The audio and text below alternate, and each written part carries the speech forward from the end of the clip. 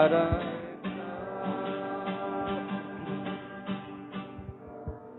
En el nombre del Padre y del Hijo y del Espíritu Santo. Amén. Amén. La gracia de Cristo el Señor, nacido de la Virgen María, esté con todos ustedes. Y con tu espíritu.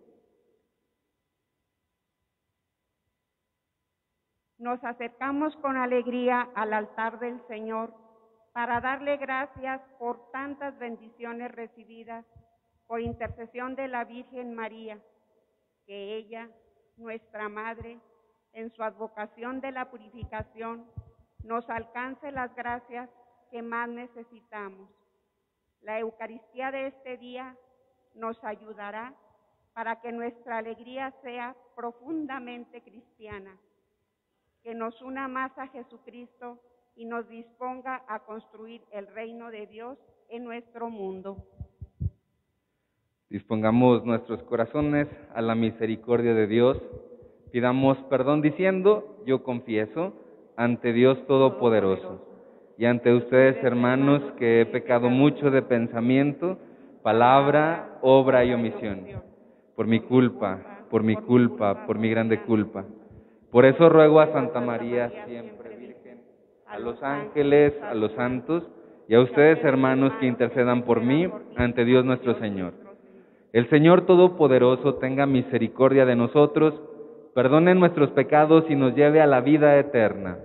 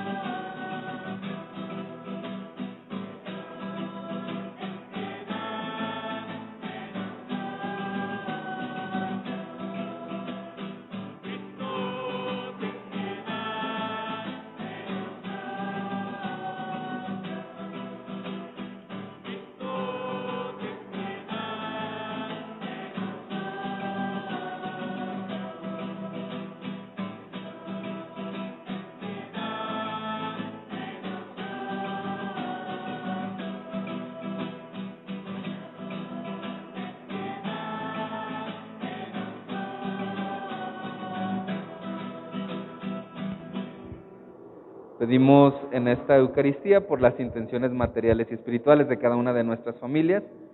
Pedimos por las familias que solemnizan este día de nuestro novenario. Delgado Sandoval y Sandoval Medina. Zavala Gámez. En acción de gracias por el feliz cumpleaños de Mario Zavala. Familias Hernández Flores y Mijares Hernández, vivos y difuntos. Pedimos también por la parroquia de los Santos Pedro y Pablo Apóstoles, en el eterno descanso de Adolfo Sandoval Medina, Chelito Gámez Juan Zavala, también los grupos de la parroquia de la Purificación, sector 2, templo expiatorio de Nuestra Señora del Tránsito, encargados de vida cristiana, pastoral de la comunicación y mo- movimiento juvenil marianita, por los enfermos de COVID, la salud de Genoveva Flores Medrano, Héctor José Quintero y familia Hernández Flores. En el eterno descanso del presbítero Ángel Campos Mota, misas gregorianas, Mercedes Santa Cruz Cisneros, Josefina Silva Medrano, Javier Méndez Martínez, Francisco Santos Sánchez, Benjamín Borrego Carmona, Angélica Triana Rivera, Felipe Solís Díaz, presbítero Margarito Hurtado Solís, también en el eterno descanso Irma García Dueñas, Silvia Guadalupe Dávila Carrera, Francisco Javier Briones Duarte, Montserrat Lomelit Caramendi, Rafael M. Flores, presbítero Ciro Flores González, Ciro Flores Medrano, María del Refugio Flores Morales, María Elena Medina Cuellar, María Guadalupe Rentería Hernández, almas del purgatorio. Oremos.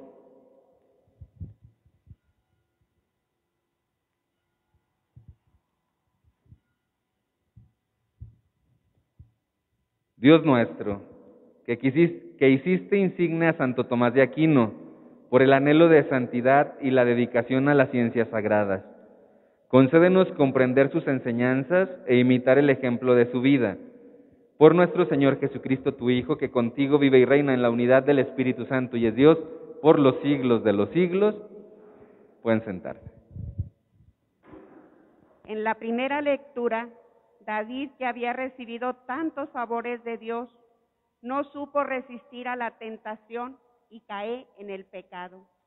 Con el salmista vamos a pedir la misericordia de Dios, que es bueno y puede ayudarnos a volver a través de la conversión. Escuchemos. Del segundo libro de Samuel. En la época del año en que los reyes acostumbraban salir a la guerra, David envió a Joab con sus oficiales y todo Israel contra los amonitas. Los derrotaron y pusieron sitio a Rabá.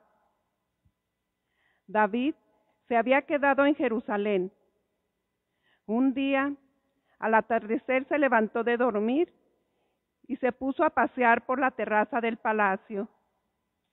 Desde ahí vio a una mujer que se estaba bañando. Era una mujer muy hermosa. David mandó preguntar quién era aquella mujer y le dijeron, es Betsabé, hija de Eliam, esposa de Urías, elitita. David mandó unos criados a buscarla, se la trajeron a su casa y durmió con ella. La mujer quedó embarazada y le mandó decir a David, estoy encinta. Entonces David le envió un mensaje a Joab, haz que venga Urías elitita. Joab cumplió la orden y cuando Urías se presentó a David, el rey le preguntó por Joab, por el ejército y por el estado de guerra. Luego le dijo, ve a descansar a tu casa en compañía de tu esposa. Salió Urias del palacio de David y éste le mandó un regalo. Pero Urias se quedó a dormir junto a la puerta del palacio del rey con los demás servidores de su señor y no fue a su casa. Le avisaron a David. Urias no fue a su casa. Al día siguiente, David lo convidió a comer con él y lo hizo beber hasta embriagarse. Ya tarde salió Urias y se volvió a quedar a dormir con los servidores de su señor y no fue a su casa. A la mañana siguiente escribió David a Joab una carta y se la envió con Urias. En ella le decía, pon a Urias en el sitio más peligroso de la batalla y déjalo solo para que lo maten. Joab, que estaba sitiando la ciudad, puso a Urias frente a los defensores más aguerridos. Los sitiados hicieron una salida contra Joab y murieron algunos del ejército de David, entre ellos Urias elitita. Palabra de Dios. Alabamos, Señor.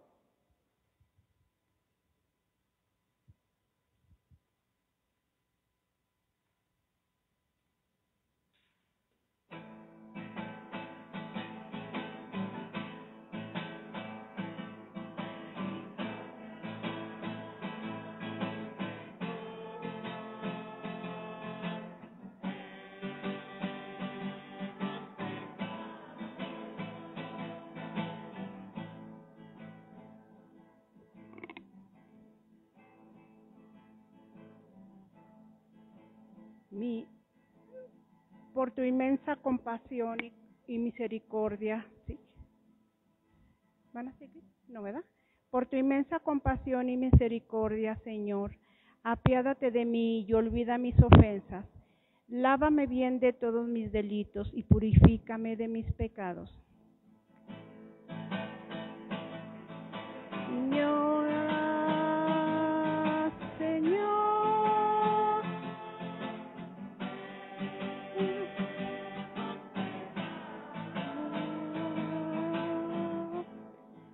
Puesto que reconozco mis culpas, tengo siempre presente mis pecados, contra ti solo pequé, Señor, haciendo lo que a tus ojos era malo.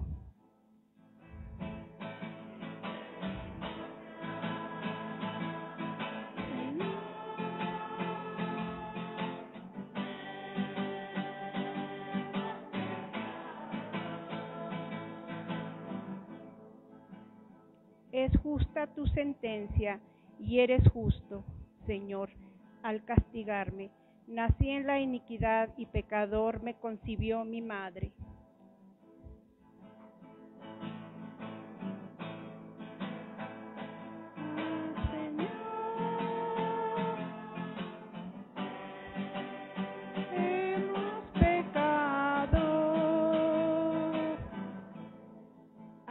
Sienta otra vez júbilo y gozo y se alegren los y se alegren los huesos quebrantados. Aleja de tu vista mis maldades y olvídate de todos mis pecados.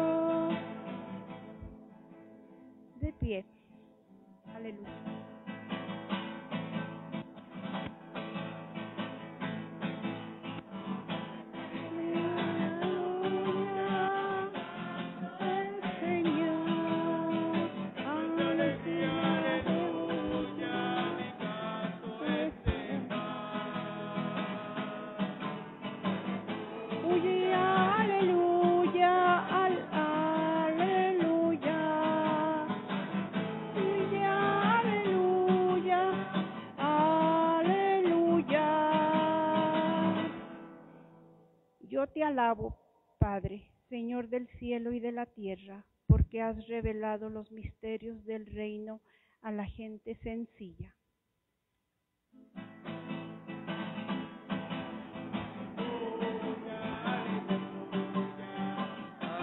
Aleluya, aleluya, aleluya, aleluya. El Señor esté con ustedes. Del Santo Evangelio según San Marcos.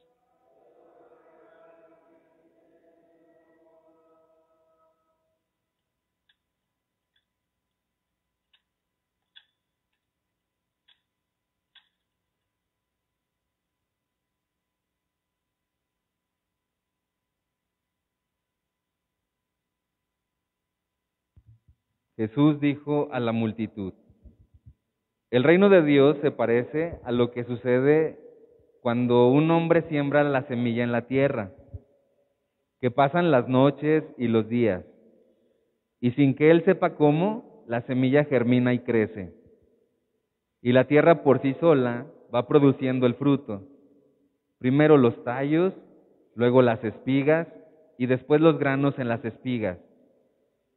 Y cuando ya están maduros los granos, el hombre echa mano de la hoz, pues ha llegado el tiempo de la cosecha.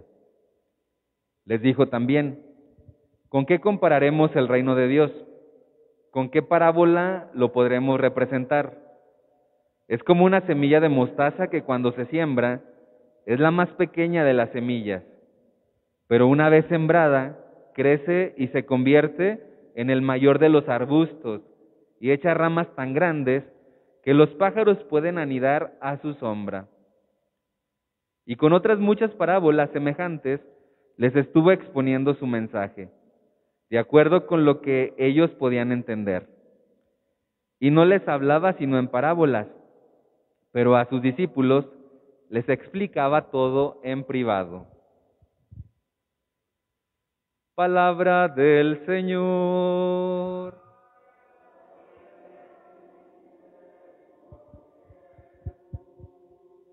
Pueden sentarse un momento. Todos nosotros hemos escuchado hablar del reino de Dios y nos podemos hacer muchas preguntas y podemos responder otras tantas. Pero el sentido del reino de Dios, o para entender el reino de Dios, primero hay que saber que el reino es de Dios. Dios es el autor o Dios es el origen, Dios es el fundamento. Nosotros somos partícipe- partícipes o participantes del reino, pudiéramos así decirlo. Jesús fue el constructor, el enviado del Padre para que este proyecto de Dios se hiciera realidad en nosotros o en medio de nosotros. Hablando pues en tiempo presente. Y es que apasionados del reino, Jesús el número uno. Estamos celebrando nuestro novenario en honor a la Santísima Virgen, Nuestra Señora de la Purificación. Sin duda alguna, María, apasionada del reino. La número dos, pues. Y el número uno es Jesús, en ser el apasionado del reino, María es la número dos, pudiéramos decirlo. Pero ya número tres, pues todos nosotros debemos de ser apasionados del reino. ¿Y qué quiere decir esto? Que todos nos debemos sentir parte, que todos somos importantes en este proyecto de Dios, que es que todos formemos parte de este reino de Dios. ¿Y qué quiere decir esto? De este plan de salvación, de este proyecto que Dios ha ideado o que Dios ha pues ha mandado a su hijo para que todos formemos parte de este proyecto, de este plan de salvación. Ya lo decíamos, apasionados del reino, primero el Señor Jesús, que durante su vida pública se esforzó, que durante su vida pública, sin duda alguna, dio testimonio de esa pasión, de esa energía de, de, de ser constructor pues de este proyecto de Dios. La Virgen María, pudiéramos decir que hay algunas formas, algunos sentimientos, algunas actitudes para que el reino de Dios se construya. Escuchamos el Evangelio de San Marcos y cómo dice que en lo silencioso de la noche, en lo sencillo y en lo simple, y hace la comparación con el grano de mostaza, un grano pequeño. Y es María, pues también, como ella nos da ejemplo de este reino de Dios o de cómo el reino de Dios es posible en la vida de las personas de una manera simple, de una manera sencilla, pero también cómo desde lo sencillo y desde lo simple ese reino pues va expandiéndose y va creciendo y se va fortaleciendo y se va compartiendo, se va dando, pues. Y vemos pues en María eso, desde el silencio, desde su sí, desde su contemplación, desde cuando ella dijo sí al Señor, pues ahí se comienza también el plan de Dios, el proyecto de la salvación. Desde el momento en que María dice sí, cuando ella empieza a guardar en su corazón todas esas cosas, cuando María contempla la acción de Dios en su vida, pues el reino de Dios se comienza sigue pues creciendo, se sigue palpando a su alrededor, pero vemos pues cómo en lo pequeño, en lo sencillo y en lo simple. Celebramos hoy a Santo Tomás de Aquino, también un gran hombre de contemplación, un hombre que le dice sí al Señor, un hombre que a través de, su contemplación y de su reflexión, pues nos hace contemplar de una manera más cercana el misterio de Dios. Y también, sin duda alguna, Santo Tomás de Aquino un loco enamorado de la Virgen María. Y entonces, si nosotros queremos que el reino de Dios se construya o queremos palpar o queremos contemplar la acción de Dios en nuestra vida o la acción de su reino en nosotros, pues primero tenemos que sentir que el reino es de Dios, que nosotros somos constructores del reino cuando le decimos sí desde las pequeñas cosas de nuestra vida, que el reino de Dios no es algo que se construya a gritos o espectacular, en, en la espectacularidad, sino que de la simpleza, de lo simple, en lo interior, en las obras de cada día, en las obras de misericordia, cuando hacemos vida el Evangelio, cuando nosotros experimentamos la paz que Dios nos da, pues estamos yendo por el camino de ser constructores del reino. Estamos pues en estos días de nuestro novenario, un tiempo especial de gracia, sin duda alguna es tiempo para que cada uno de nosotros veamos en lo profundo de nuestros corazones si verdaderamente estamos haciendo lo que Dios nos pide, si somos locos apasionados y constructores del reino, o si nos hemos quedado simplemente en la apariencia, en lo exterior, en lo espectacular, y nos damos cuenta que eso no es ser constructores del reino, porque el reino de Dios no se grita, no se anuncia, se vive y se construye desde lo pequeño, así como el grano de mostaza que se, que se comienza a germinar pues en lo, en lo escondido del surco de la tierra y comienza a echar raíces y a crecer y a fortalecerse. Pues pidámosle a nuestro Padre Dios que cada uno de nosotros sepamos asumir esta invitación que nuestro Padre Dios nos hace, a, vivir pues, a palpar el reino de Dios como una realidad de la que todos formamos parte, una realidad que está ya presente en medio de nosotros, una realidad de la que todos somos protagonistas, una realidad en la que todos nos tenemos que apasionar, así como la Virgen María, desde su personalidad, desde su silencio, desde su contemplación se apasionó y le dijo sí al Señor, así cada uno de nosotros, como somos, desde nuestra personalidad, desde nuestras actitudes y desde nuestras acciones, podemos decirle sí al Señor, porque a veces pudiéramos decir, pues es que yo ni hablo, es que yo canto bien quedito, es que yo canto bien reciote, y yo así como le voy a hacer, así como voy a ser partícipe del reino. Pues bueno, desde las cualidades que Dios nos dio, desde los talentos que cada uno tenemos, podemos apasionarnos y podamos, podemos ser constructores y podemos hacer que otros se apasionen por el reino de Dios. Y hoy pues, más bien en este tiempo de gracia que Dios nos concede de nuestro novenario, en honor a nuestra Santísima Virgen, la Señora de la Purificación, pues veamos todo lo que cada uno de nosotros podemos dar, cada uno de lo que, cada uno lo que podemos ofrecer y lo que hemos dejado de hacer también, lo que hemos hecho bien y lo que no hemos hecho tan bien.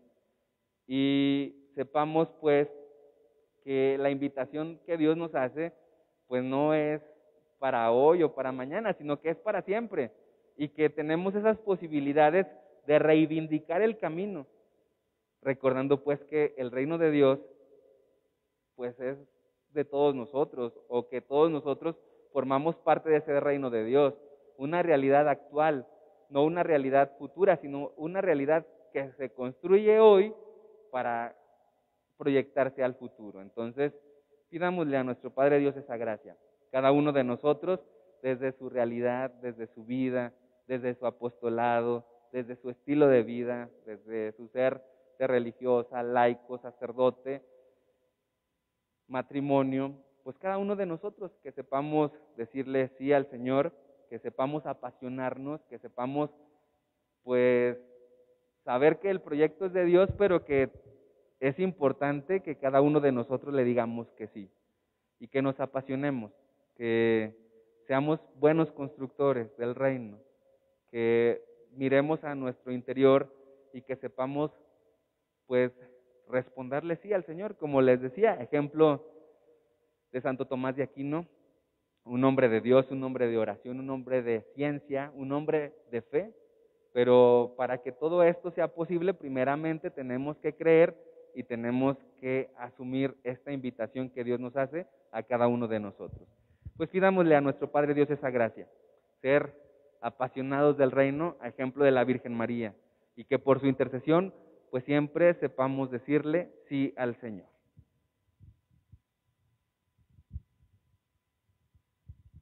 Nos ponemos de pie.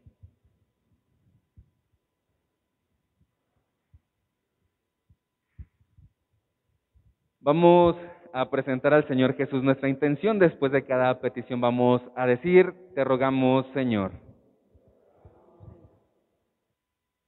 Por la Iglesia Universal para que siendo fiel a la tarea de anunciar el Evangelio, impregne e influya con sus valores en la transformación de la sociedad. Oremos. Te rogamos, Señor. Por los gobernantes y quienes ejercen alguna autoridad, para que, evitando las confrontaciones, busquen siempre el bien común y la unidad en la sociedad a la que sirven. Oremos. Te rogamos, Señor por los que buscan a Dios sinceramente, para que encuentren la verdad que desean y habiéndole encontrado, descansen contemplándola. Oremos. Te rogamos, Señor. Por todos los que escuchamos la palabra de Dios, a ejemplo de la Virgen María, para que demos frutos de fe, comprometidos con la extensión del reino de Dios. Oremos. Te rogamos, Señor. Por nosotros que estamos aquí reunidos, para que por la intercesión de Nuestra Señora de la Purificación seamos testigos fieles del Evangelio. Oremos. Te rogamos, Señor. También pedimos por quien solemniza este día de nuestro novenario, familias Delgado Sandoval y Sandoval Medina, familias Zabalagames, familias Hernández Flores y Mijares Hernández. Pedimos también por la parroquia de los Santos Pedro y Pablo Apóstoles, los grupos de la parroquia de la Purificación, sector 2, Templo Expiatorio de Nuestra Señora del Tránsito, encargados de vida cristiana, pastoral de la comunicación y movimiento juvenil marianita. Oremos. Pidamos a nuestro Padre Dios también por todos los que sufren en su cuerpo o en su espíritu, por los enfermos de COVID, la salud de Genoveva Flores Medrano, Héctor José Quintero y familia Hernández Flores. Oremos. Por cada uno de nosotros que celebramos esta Eucaristía en este día de nuestro novenario, para que sepamos ser dóciles a la acción del Espíritu Santo y sepamos ser buenos constructores del reino de Dios. Oremos. Escucha, Padre bueno, nuestra súplica y atiende a ella favorablemente, tú que vives y reinas por los siglos de los siglos. Amén. Pueden sentarse.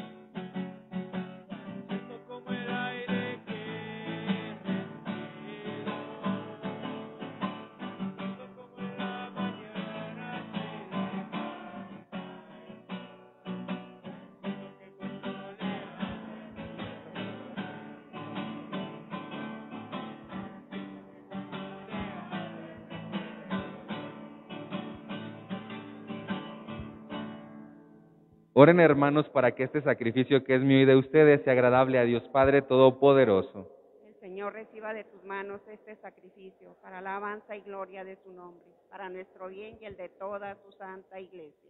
Que te agrade, Señor Dios nuestro, el sacrificio que alegres te presentamos en la fiesta de Santo Tomás de Aquino, por cuyas enseñanzas te alabamos y nos entregamos enteramente a ti, por Jesucristo nuestro Señor. Amén. El Señor esté con ustedes. Y con tu espíritu. Levantemos el corazón. Lo tenemos levantado hacia el Señor. Demos gracias al Señor nuestro Dios. Es justo y necesario. En verdad es justo y necesario, es nuestro deber y salvación darte gracias siempre y en todo lugar, Señor Padre Santo, Dios Todopoderoso y Eterno, por Cristo Señor nuestro, porque de tal modo concedes a tu iglesia la alegría de celebrar hoy la festividad de Santo Tomás de Aquino, que la fortaleces con el ejemplo de su vida piadosa, la instruyes con la predicación de su palabra y la proteges con su intercesión. Por eso, unidos a la multitud de los ángeles y de los santos, te aclamamos llenos de alegría.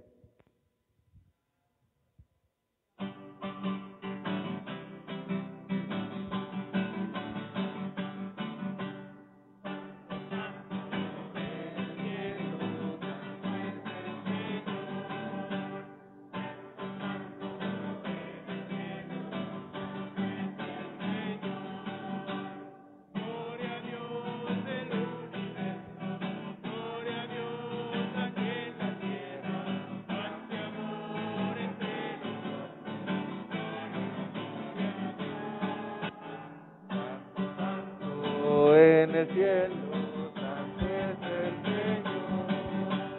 Santo, santo.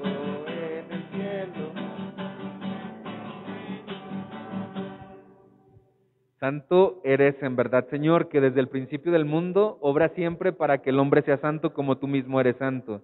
Te pedimos que mires los dones de tu pueblo y derrames sobre ellos la fuerza de tu espíritu, de manera que sean para nosotros el cuerpo y la sangre de tu amado Hijo Jesucristo, en quien nosotros también somos hijos tuyos. Aunque en otro tiempo estábamos perdidos y éramos incapaces de acercarnos a ti, nos amaste hasta el extremo. Tu Hijo, que es el único justo, se entregó a sí mismo a la muerte, aceptando ser clavado en la cruz por nosotros. Pero antes de que sus brazos extendidos entre el cielo y la tierra trazasen el signo indeleble de tu alianza, él mismo quiso celebrar la Pascua con sus discípulos. Mientras comía con ellos, tomó pan. Dando gracias te bendijo, lo partió y se lo dio diciendo, tomen y coman todos de él, porque esto es mi cuerpo que será entregado por ustedes.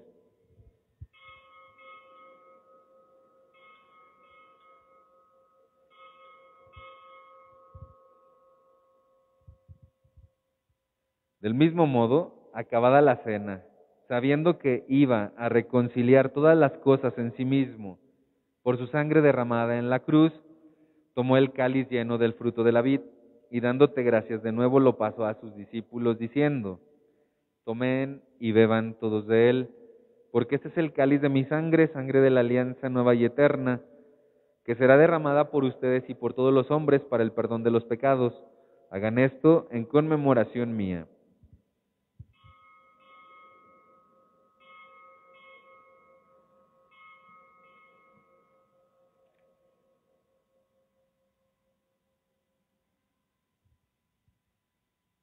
Este es el sacramento de nuestra fe.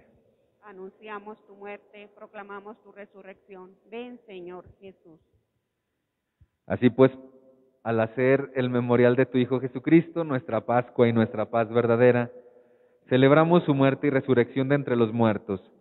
Y mientras esperamos su venida gloriosa, te ofrecemos, Dios fiel y misericordioso, la víctima que reconcilia a los hombres contigo.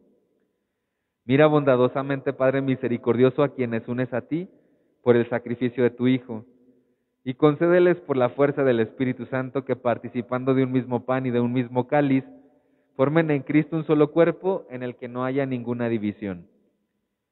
Guárdanos siempre en comunión de fe y amor con nuestro Papa Francisco y nuestro Obispo Sigifredo.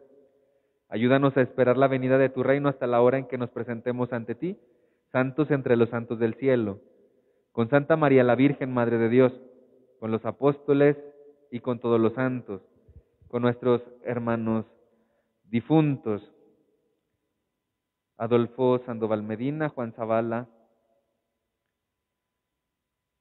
Ángel Campos Mota, presbítero, Mercedes Santa Cruz Cisneros, Josefina Silva Medrano, Javier Méndez Martínez, Francisco Santos Sánchez, Benjamín Borrego Carmona, Angélica Triana Rivera, Felipe Solís Díaz, Margarita Hurtado Solís, presbítero, Irma García Dueña, Silvia Guadalupe Dávila Carrera, Francisco Javier Brones Duarte, Montserrat Lomelí Garamendi, Rafael M. Flores, presbítero Ciro Flores González, Ciro Flores Medrano, María del Refugio Flores Morales, María Elena Medina Cuellar, María Guadalupe Rentería Hernández, almas del purgatorio, que confiamos humildemente a tu misericordia.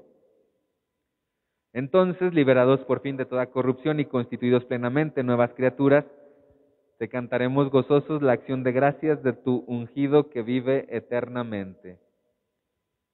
Por Cristo, con Él y en Él. A ti Dios Padre Omnipotente, en la unidad del Espíritu Santo, todo honor y toda gloria por los siglos de los siglos. Amén. Somos hijos de Dios. Cantemos con fe y esperanza la oración que Cristo nos enseñó.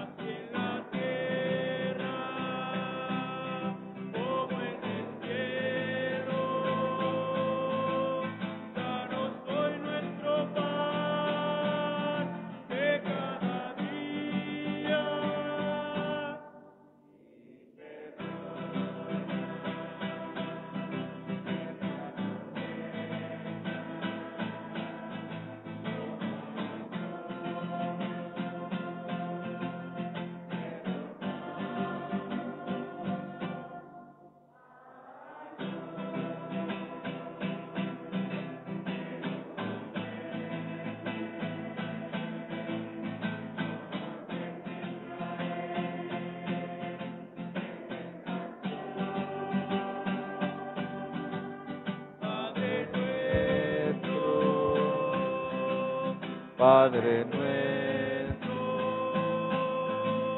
líbranos de todo mal. líbranos de todos los males, Señor, y concédenos la paz en nuestros días, para que, ayudados por tu misericordia, vivamos siempre libres de pecado y protegidos de toda perturbación, mientras esperamos la gloriosa venida de nuestro Salvador Jesucristo. Tuyo es el reino, tuyo el poder y la gloria por siempre, Señor. Señor Jesucristo, que dijiste a tus apóstoles, la paz les dejo, mi paz les doy, no tengas en cuenta nuestros pecados, sino la fe de tu iglesia, y conforme a tu palabra, concédele la paz y la unidad. Tú que vives y reinas por los siglos de los siglos, Amén. la paz del Señor esté siempre con todos ustedes. Como hijos de Dios compartimos un signo de paz.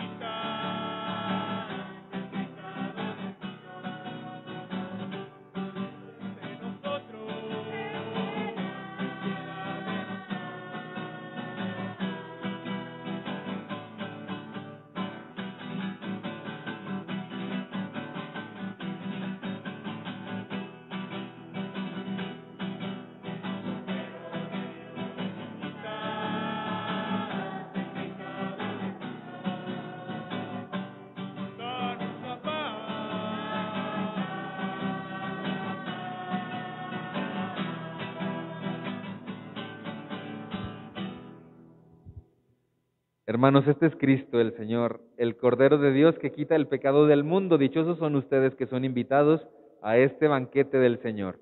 Señor, no soy digno de que entres en mi casa, pero una palabra tuya bastará para sanarme. para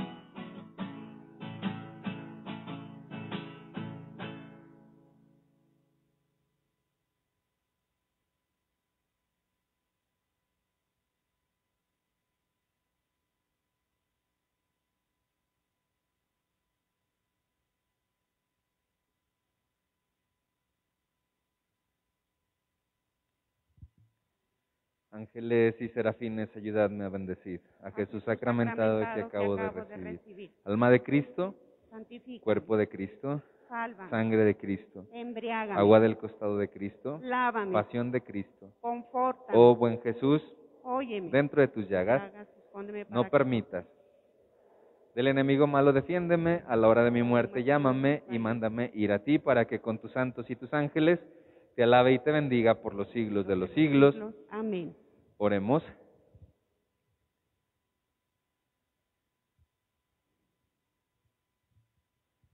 A quienes alimentas con Cristo pan de vida, instruyenos, Señor, por Cristo, verdadero Maestro, para que en la festividad de Santo Tomás de Aquino aprendamos tu verdad y la llevemos a la práctica en la caridad. Por Jesucristo nuestro Señor. Amén. Oh Jesús, Pastor eterno de las almas, Dígnate mirar con ojos de misericordia a esta porción de tu grey amada. Señor, danos vocaciones, danos sacerdotes y religiosos santos. Te lo pedimos por la Inmaculada Virgen. María de Guadalupe, tu dulce y santa madre. Oh Jesús, danos sacerdotes y religiosos según tu corazón. Pidamos a la Virgen María su intercesión y digámosle, Dios te salve, Reina y Madre, Madre de misericordia, vida, dulzura y esperanza nuestra. Dios te salve, a ti llamamos los desterrados hijos de Eva. A ti suspiramos, gimiendo y llorando en este valle de lágrimas. Ea pues, Señora abogada nuestra, vuelve a nosotros tus ojos misericordiosos. Y después de este destierro, muéstranos a Jesús, fruto bendito de tu vientre, oh clemente, oh piadosa. Oh dulce siempre Virgen María. Ruega por nosotros, Santa Madre de Dios, para que seamos dignos de alcanzar las divinas gracias y promesas de nuestro Señor Jesucristo. Amén. El Señor esté con ustedes Y con tu espíritu. y la bendición de Dios Todopoderoso, Padre, Hijo y Espíritu Santo, descienda sobre ustedes, sus familias, y permanezca para siempre. Amén. Glorifiquemos a Dios con nuestra vida, pueden ir en paz. Demos gracias a Dios. Que tengan todos muy buena noche. Buenas noches.